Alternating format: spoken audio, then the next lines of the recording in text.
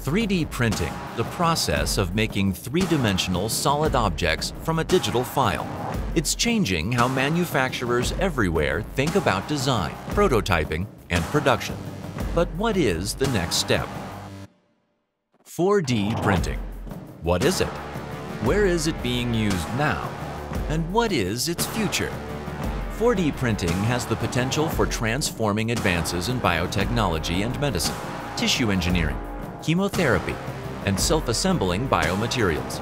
Medical devices such as stents and splints, orthodontic devices and implants that can grow with the patient are just some advances to come from 4D printing. Find out more now in Mechanical Engineering Magazine's special report.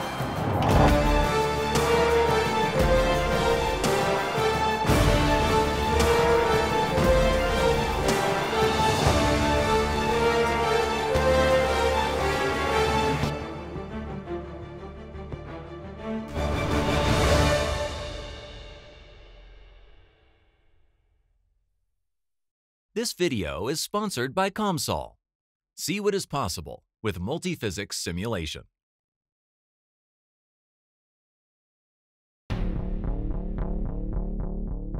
Biotechnology embraces 3D printing, but 4D solutions are just beginning their evolution. Rapid advancements in 3D printing that have fueled the development of advanced manufacturing applications are well known.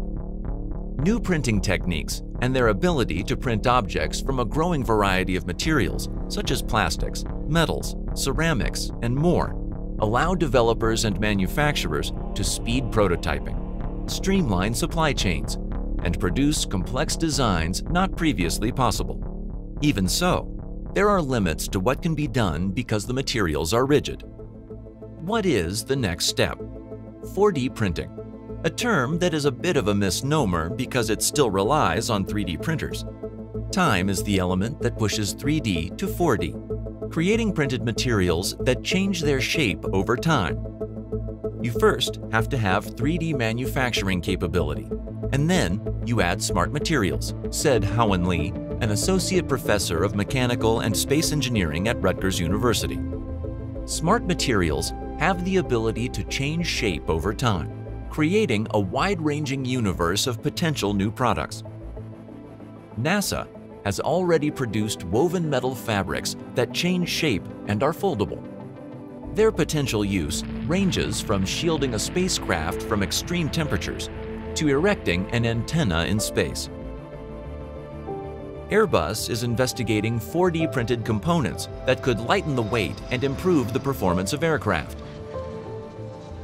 4D printed healthcare applications may be the closest to commercial applications. Shape-shifting materials could be used for small, implantable medical devices, noted Lee. Tiny, soft devices could be inserted or implanted in people and harden when they reach the affected area. But with a few possible exceptions, wide-scale application remains years away. Most activity now is still in research and development, the market is in its infancy. One survey by researchandmarkets.com puts the overall market for 4D printing in healthcare at a meager $9 million in 2021, rising to 32 million by 2026. In 2021, the medical and research models segment is expected to account for the largest share of the overall healthcare market. The ability of the 4D printing technology in manufacturing smart medical models will bring significant transformation in the medical field and will support the growth of this segment in the forecast period, according to the report. Yet, despite its small market size, emerging research shows that 4D printing could provide physicians and surgeons with new tools for everything from generating replacement skin to creating objects that respond to changes in their environment. First results one example is work taking place at the Self-Assembly Lab at the Massachusetts Institute of Technology. Using Autodesk's Cyborg software and Stratasys 3D printers, it has been developing materials for more than five years that change shape when triggered by water. Another is Lee's lab at Rutgers, which uses a customized 3D printer to create plastic polymer metamaterials that change shape with heat. Skylar Tibbits runs MIT's Self-Assembly Lab and may be the first to delve into what is now called 4D printing. In 2013, he declared an unprecedented revolution taking place at the micro and nano level to program physical and biological materials to change shape and form. The lab is working towards self-forming structures to eventually impact infrastructure and construction.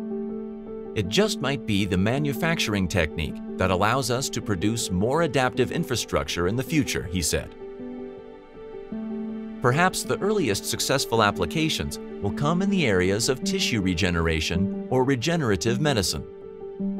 3D Systems, Stratasys, and other printer manufacturers see the segment growing over the next few years and are working with biotech and bioprinting firms eager to adapt the technology to processes and production. Bioprinting is a process of printing materials with living cells, most often for product testing and further out reconstructive surgery.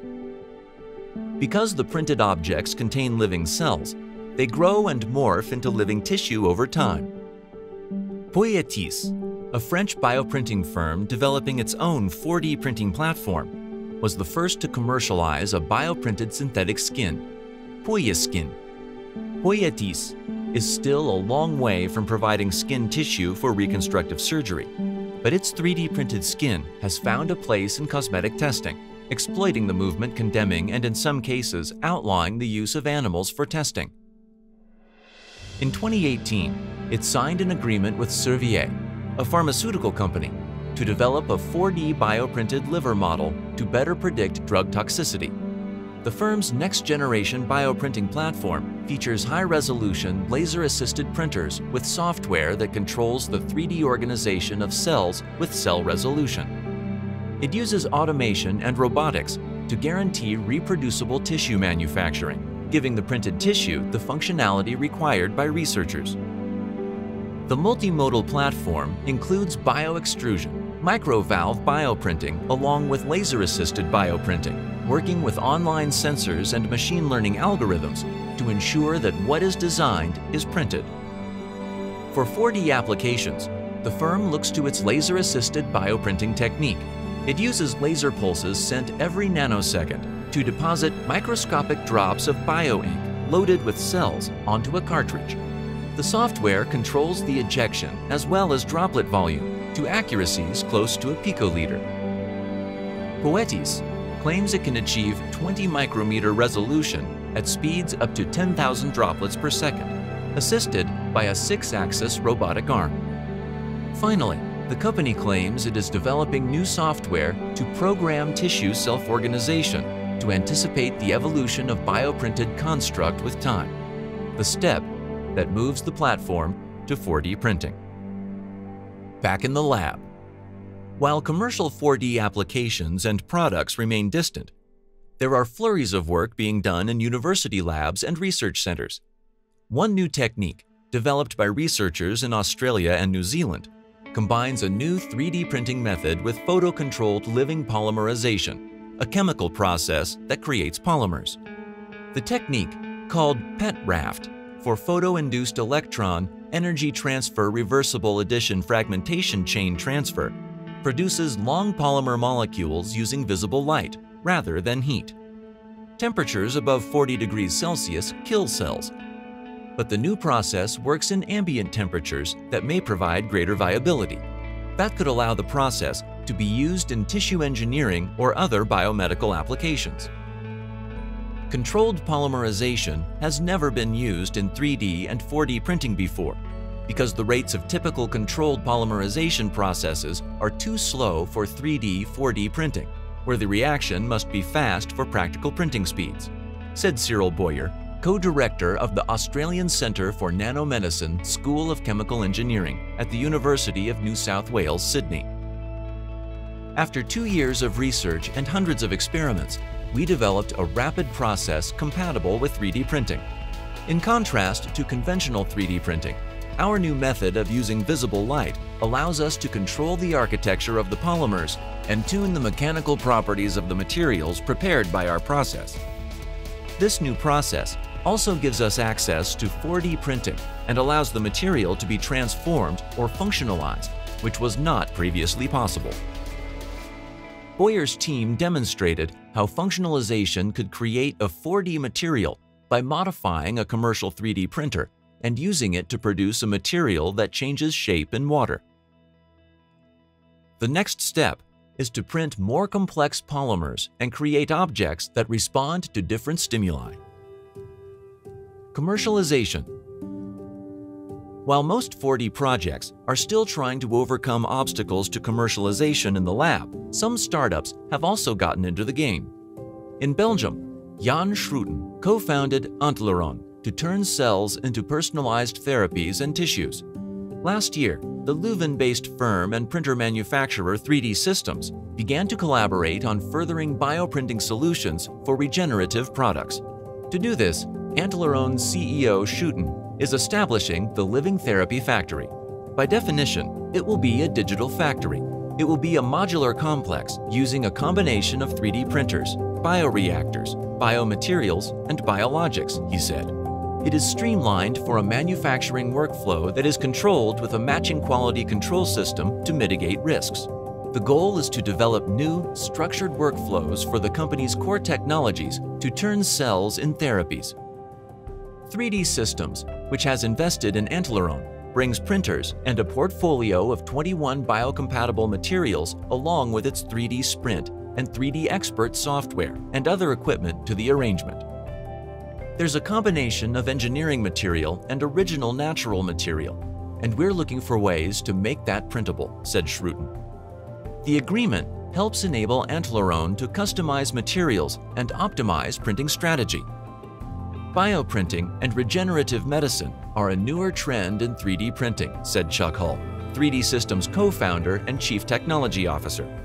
The firm first stepped into the field with an earlier agreement with United Therapeutics, which is working to build a transplantable lung. It poses a lot of cell biological questions, but also 3D printing questions, Hull said. They produce human collagen, and our printing inks are collagen-based. We print scaffolds to be infused with living cells, so it has been a great learning experience. Because of our progress there, there are a lot of other tissues we could handle. But for 4D applications, it is still early, Schrooten said. Once researchers print a successful object, they then have to show they can do it reproducibly. After that, they have to show that they can print at volume and overcome medical and regulatory hurdles.